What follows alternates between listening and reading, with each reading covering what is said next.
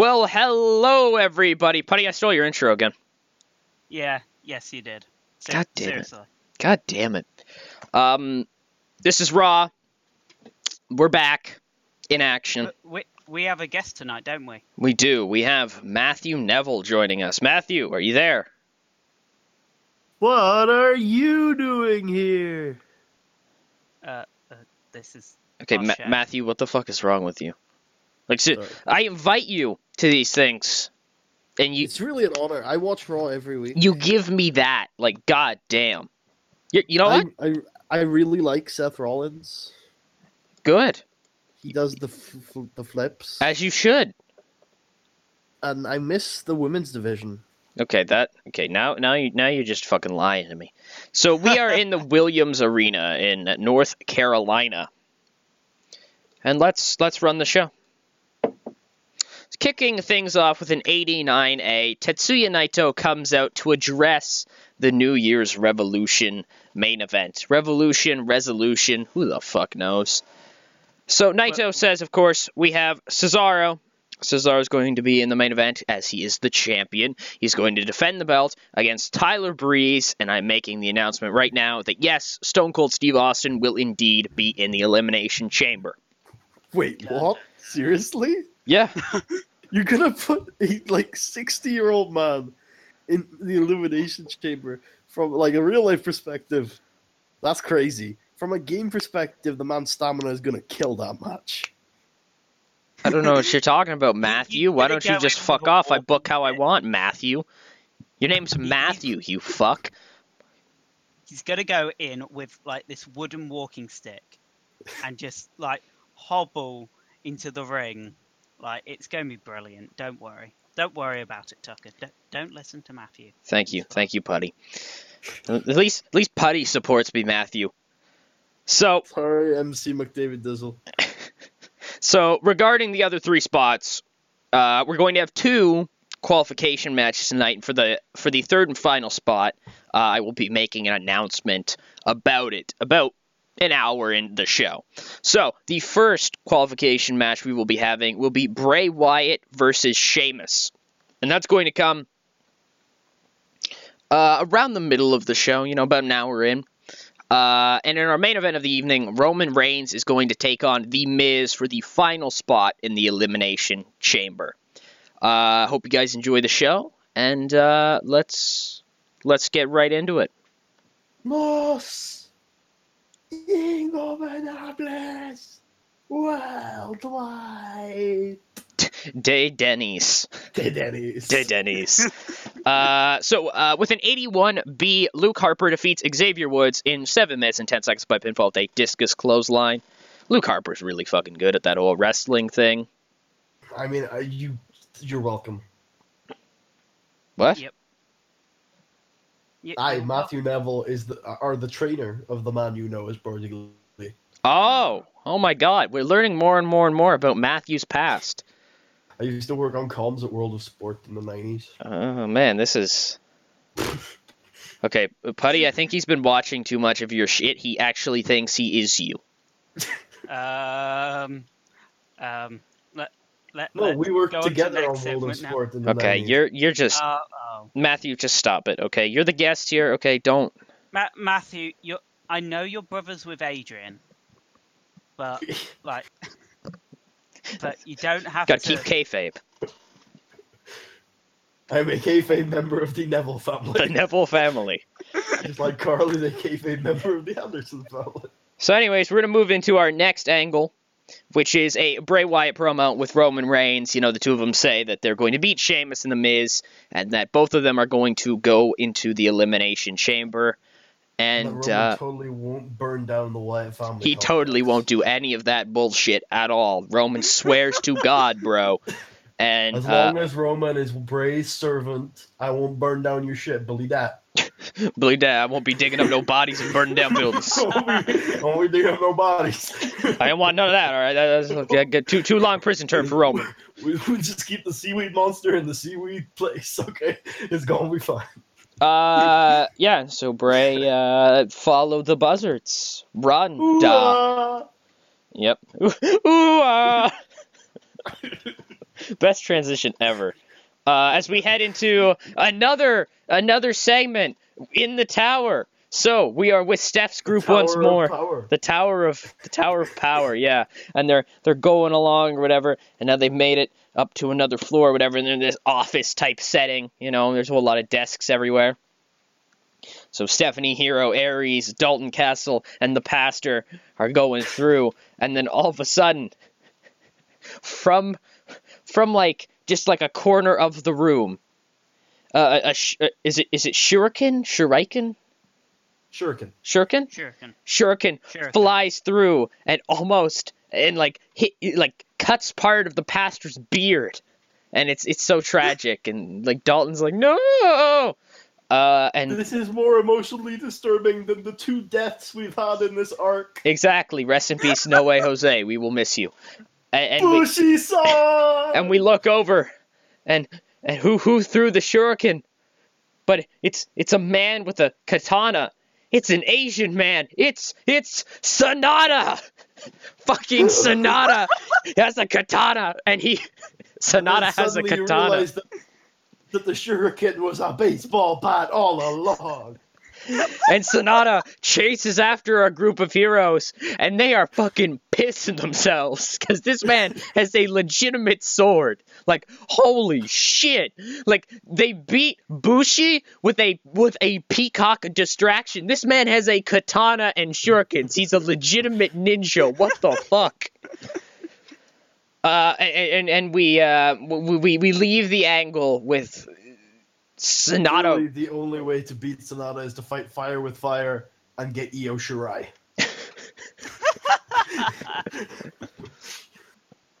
And uh, as, as as we as we prepare to prepare to leave the angle, we see uh we see the pastor in, in the background like meditating or something, some weird thing that pastors do, probably fucking a small child. Um, and well, if you believe some commentators, that's good for them. oh my God, no. As What, he, do you uh, not believe Milo has very good considerations of social justice? Matthew, no. Buddy, this is what happens when you bring people onto my show. Oh god, yeah.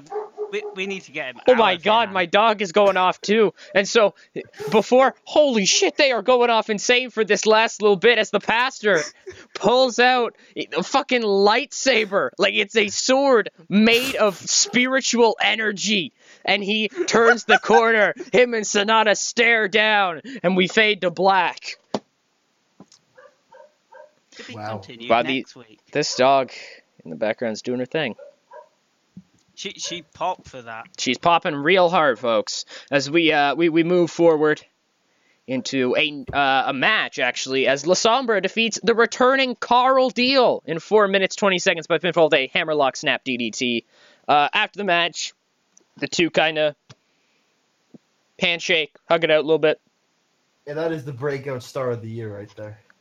Carl Deal, right? Oh, Carl Deal picking up a big L to open up 2018. oh, Breakout star of the year, buddy. oh. You're burying him. Rob Van Dam cuts a promo on Adrian Neville. Says, you know, Neville thinks whatever, he can go around do whatever he wants, say whatever he wants. He can't. He's going to learn that this Sunday because what these people know and what I know and what I don't think Adrian Neville knows is that Rob Van Dam is the whole fucking show. By the way, I've just we've destroyed any appearance of PG on Raw. We don't give a fuck anymore. Yeah, they- really they've moved- They moved to like nah, but like S- TV-18. SmackDown's like PG thirteen. We are TVA. Yeah. Like we don't give a fuck. I don't know. I- I, I mean, I think we were definitely more mature during the Kings Eventually Die era Yeah, when we had like fucking Tommy End cutting satanic promos every week. that's true. That's true. Uh, as we move forward You into know, a if, you, if you play back the commentary from the John Cena Samoa Joe Armageddon 2016 match, it has a satanic message. oh shit. Back if you play it backwards, yeah. It's a Yeah. ritual to summon Satan. Oh no! Don't do that unless you want to summon Satan, folks. Uh, I mean, who yeah, it, it was a really good really good point. I'll We get in a 96 A star promo from Tyler Breeze and Summer Rae. You're welcome. Fuck you, Neville. What did you ever do? Nothing. You didn't do anything. It's Putty. Yeah, Matthew. It's Putty. Putty did everything.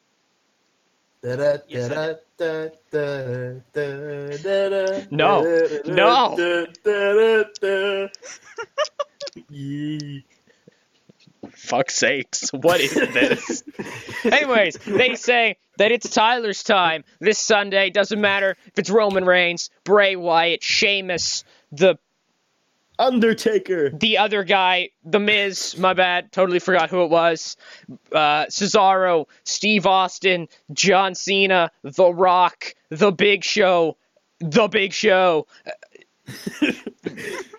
I don't know. Uh, If you smell the Rock's music hits, he comes down to the ring. I have a surprise announcement to make. football superstar Benito Mussolini, who doesn't He got matter. The train's running on time. It, it, it, it doesn't matter because this is Tyler's time and he's taking what's his. It's my time, and my dick fell off. Exactly. Exactly. As we head into yet another match, as Big E defeats Austin Aries in 537 by pinfall a big ending. And then post match, 76B minus. Uh, Big E and Braun Strowman stare each other down as the two prepare to clash this Sunday at New Year's Revolution. Revolution. Revolution. So Tetsuya Naito comes to the ring, and he brings out Chris Hero with him. Naito says, Hero, at the Royal Rumble, you're going to be representing Raw in a WWE Championship triple threat match. In this match, you have the opportunity to take SmackDown's World Championship from them, the WWE Championship from them, and bring it back here. Chris, I would like I, would like to make that occasion even more momentous. I, I would like to maybe, you know, drive buy rates for the Rumble a little bit higher. M- make a, a, a superstar, a name for years to come, a moment for years to come. So, Chris, here's what I'm offering you. Absolutely nothing. I'm offering you a chance to go all in on this. Chris, I'm offering you the opportunity to walk into the Elimination Chamber this Sunday, become World Heavyweight Champion, go to the Royal Rumble, win the WWE Championship, and combine the two belts here on Monday Night Raw with you as the champion. Dun dun dun. Chris, what do you say? Hmm? And Chris, Chris doesn't say anything. He just shakes Naito's hand and leaves.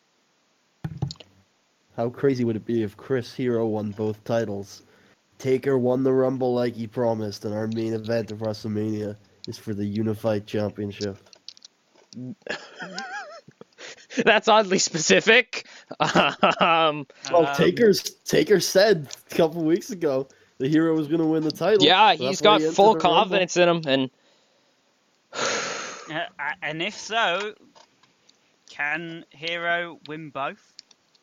We, we need Absolutely. Taker's mystic powers in That's here not a prediction. That's a spoiler.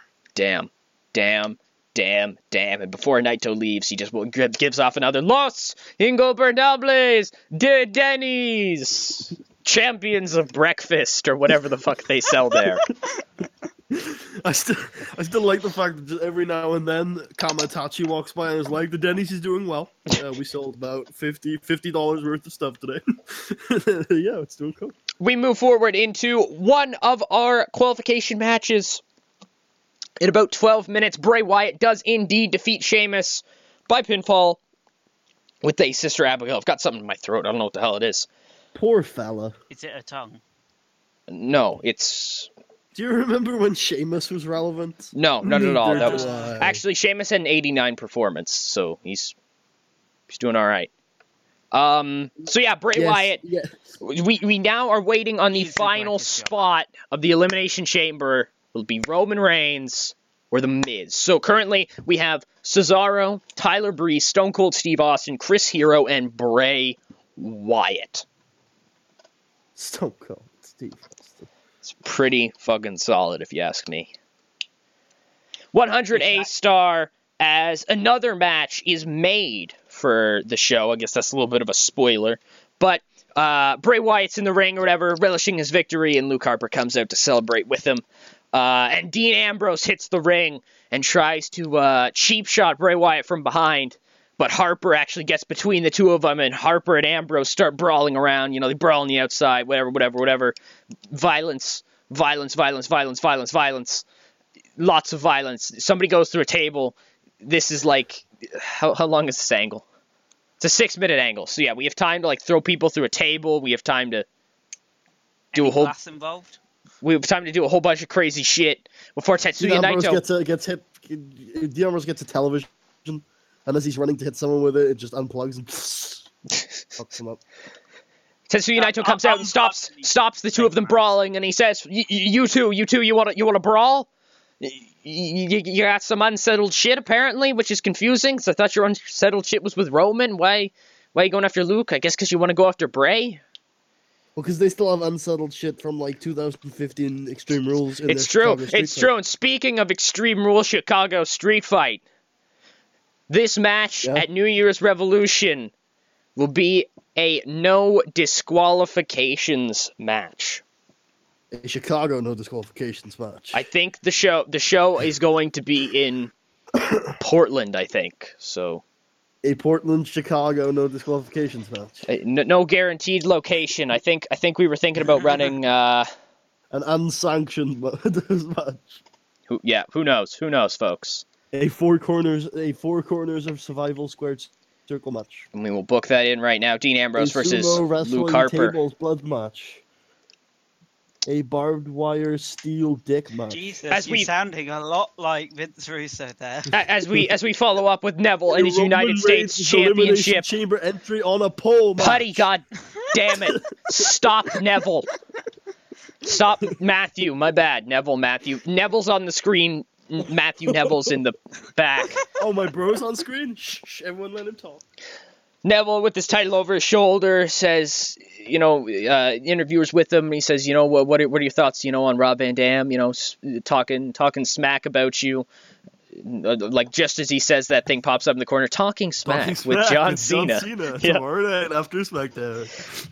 Uh, Neville says, to, be totally honest, Scott, John, whoever the fuck you are, it's like I literally don't have somebody on screen. It's just, for all we know, it's a robotic hand that's just sticking out. What strange, strange robots. robot, damn those robots taking our jobs. strange robots we've manufactured into doing whatever. I don't give a damn what Rob Van Dam thinks because for whatever reason, Tetsuya Naito thinks that Rob Van Dam is going to be a challenge for Adrian Neville. I, I, I'm going to be honest. 10 years ago, no, more than 10 years ago now, 12, 13, 14, 15 years ago, Rob Van Dam would have been a threat to Adrian Neville. But this is the year 2018. RVD hasn't been relevant in the wrestling world for, like I said, 15 years. And every single year since then, he's been getting older and slower and more just overall old, fat, and shit. See, Rob Van Dam has this strange idea about himself where he thinks he can still go. And it's my utmost pleasure to remind him this Sunday that old habits die hard, and an old stoner has no business in the ring with a real champion. And then Neville, Neville, Neville grabs the mic again, stares the camera down, gotta get that heel heat, and is like, ECW was fucking shit, and then leaves. Yep. Uh, Rich Swann defeats Sin Cara in 228 by pinfall with a rich kick. Sin Cara is your is Spanish for rich kick. Ah, I see. Rich Swann I- I defeats thought Sin Cara with the Prick. Sin Cara. I thought it was Rich Prick. No, no, that's that's Del Rio. Um, Oh, uh, so so we have some stealth shit. So so we've got we're with Vince's boys now, and they're doing some amazing stealthy shit. They're like running around. Carl Deal's just with them again. We don't even really acknowledge why. Carl's just back with them. You know, they're very confused about the whole evil situation, what went down two weeks ago. Um, but but they're getting close. They can they can hear. They can hear the the uh, they can hear Naito's theme in the distance, and that's that's how you know people are around. That's how it works in wrestling, folks. If you didn't know, people's themes play when they're when they're nearby you, um, and then they see a sign that says Denny's this way, and then they follow the sign. And who do they find in the Denny's? Matthew, would you like to do the honors? um, I would, but I don't know what you're talking about. In the Denny's, they find David Otunga. Oh, And David Otunga, Vince is like, David, David, sweet, okay. We've got another ally here. David, what can you tell us about oh uh, no! about the layout of this place. And David says, Vince, I'm going to be totally honest. Right now, I, I, I wouldn't be fighting. I, I- I'd be fighting you right now if you were still not the legal owner of Raw. See, nobody respects any laws or constitutions or policies here. Naito has stomped on so many of them. I just, I just can't take it anymore. So yeah. Yeah, I'll team up with you guys. now. So Vince's squad, Vince McMahon once again has 11. Rest in peace, No Way Jose as David Otunga has joined Vince McMahon's team, bringing it to Vince McMahon, Chris Jericho, the Apollo crew of Apollo Crews, Carl Deal, Jimmy Uso, and David Otunga. That's only six. I know, but Steph has five of them. Can you name those five? Steph, Aries, uh, Hero, Dalton, Pastor. Okay, you you passed the test. See, No Way Jose was the 11th, but he died. Yeah. Um, Rest wait, in is peace. Carl technically even there anymore? He Yes. was on Raw this week. Carl. No, Carl's there. Carl's there. Don't worry about it. Don't worry Can about we, it. by the way, can we f- take a second to admire the Performance Center? Because I think Carl Deal is the first real success story of the Performance Center. The first real success story. Yep. I like to think the, the SmackDown Women's Champion. I like to think there's an Oh. alternate universe where Carl Deal didn't get called up as part of the Apollo crew, and he got called up to SmackDown and became a really sleazy, like businessman character. And he's in King of the Ring right now, doing really well. Yeah, probably, probably. But no, he's here with Apollo and Jimmy, his two best friends. and my best friend. Chris Jericho's there too. Don't forget about him. Apollo Anyways, crew as we move on, Roman Reigns makes his way to the ring for the main event of the evening. Du-du, du-du, du. 91A as The Miz defeats Roman Reigns in 1955 by pinfall with a skull crushing finale following interference from Seth Rollins. Hallelujah. Big swerve. Seth Rollins actually working for Maryse with her new baby. Oh my And they're god. Really, they're really good He, terms. he is he is the Miz's son, folks. it's the new baby. So we have we have Seth Rollins on the outside of the ring, and you know Miz rolls is out. Miz the, is, is Miz the third member of Shield 2.0? Miz rolls out and runs away. Oh, And no, Roman no. stands up and turns and he looks at Seth. And Seth is on the outside and he's pissed Roman off. So Seth's like, oh fuck, I'm gonna die today, aren't I? and so, Yeah, Yes, you are. surprisingly, Roman grabs a microphone.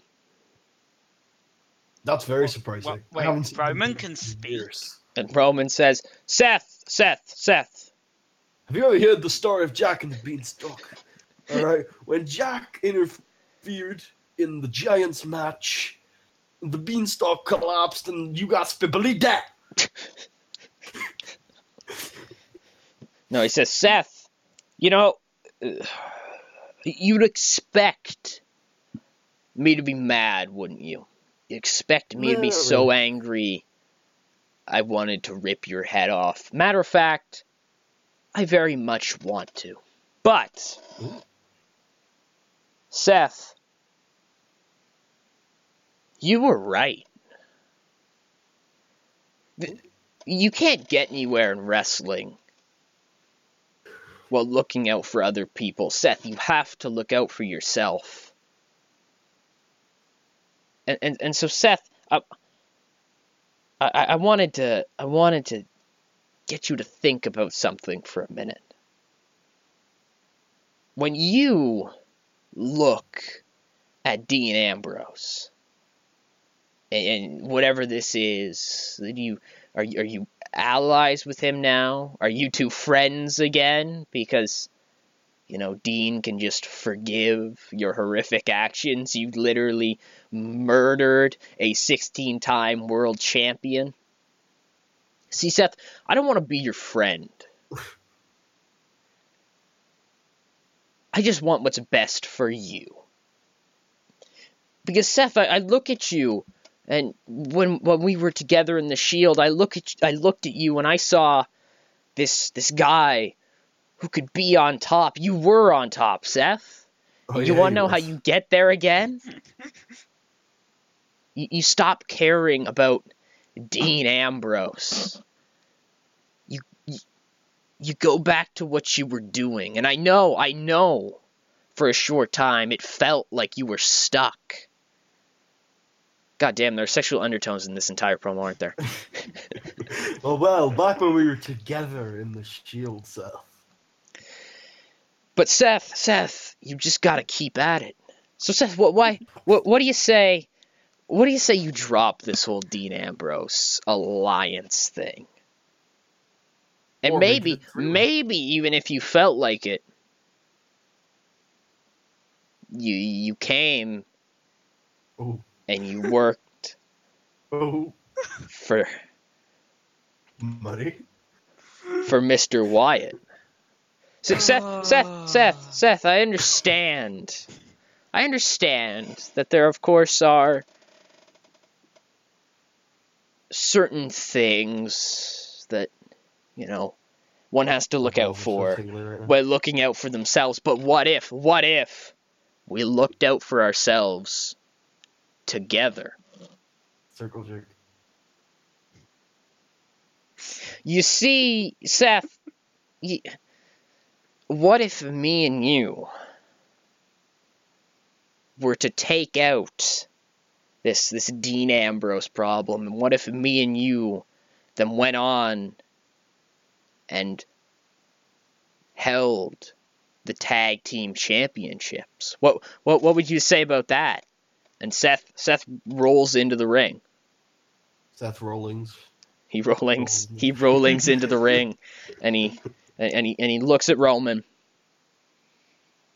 And, you know he's considering his options here, and he looks around. and Roman sticks out his hand, and then Ambrose attacks Roman from behind, DDTs him. Seth rolls outside the ring, grabs a chair, and cracks Roman right over the back, just like he had Do we get- done four years prior. Do we get a concerto? We haven't seen a concerto in years. Fuck it, we get a concerto. So Ambrose puts puts the chair under the face of Roman Reigns, and Rollins brings down his chair, crushing the skull No, of Roman We should do a Reigns. concerto with a curb stomp. Oh, Fuck, they put the two Yes. chairs on him, and he curb stomps them. Seth Rollins and Dean Ambrose do a little high five deal. You know, The they're like, Elimination yeah. Chamber's this Sunday. Roman's fucked. Oh, he's not. Roman's not on the Roman's not on the match. No. That's, that's Even even then is Roman fucked because as Ambrose and Rollins walk up the ramp, we turn back with the camera in the ring, and Roman Reigns is on one knee, and he points he points at Rollins and Ambrose, makes the cutthroat motion, and we fade to black for the end of Monday Night Raw. That's a sick ending. Since it's January, he could have pointed to the WrestleMania sign. He did. He points to the WrestleMania sign. He points to Seth and Dean and Cutthroats that will never be touched on again. Shield triple threats. Hype. Hype. uh, 94A overall.